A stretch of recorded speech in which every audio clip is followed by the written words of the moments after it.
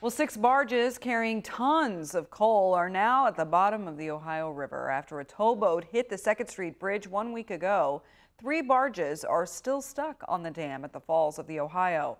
Dennis Ting went down to the river today to check on those barges, and it turns out you weren't the only one there, Dennis. Well, that's right, Lisa. There was a steady stream of people along the Ohio River, some even walking all the way down to the fence next to the dam, trying to get a photo of the coal barges. Many were trying to see the unusual sight for themselves, but some are worried about the possible effects of the coal in the river.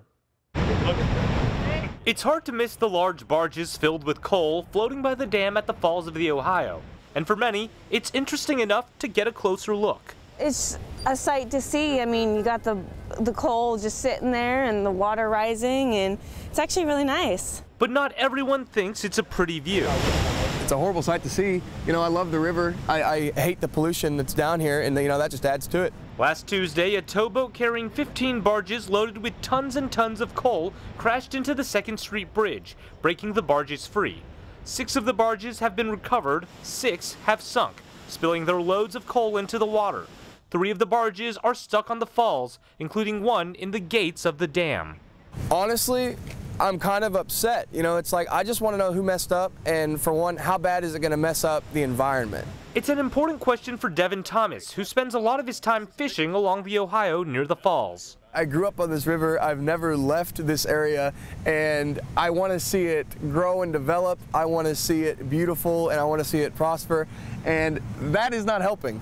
That does not help. Tennessee Valley Towing, the company that owns the towboat, is working with salvage teams, along with the Army Corps of Engineers and the Coast Guard, on recovering and removing the barges from the river. The Coast Guard says heavy equipment is expected to arrive Wednesday evening, and crews will assess when conditions will be good enough to begin that salvage process. It's not even about it affecting me. It's about the environment to me, you know, but that's a pretty big mess up. I hope they can get most of it done. The Coast Guard told me today there are many things that can affect the conditions, including the heavy rains that hit Kentuckiana on New Year's Eve, but they hope they can get to work as soon as possible. Dennis Ting, 11 at 11.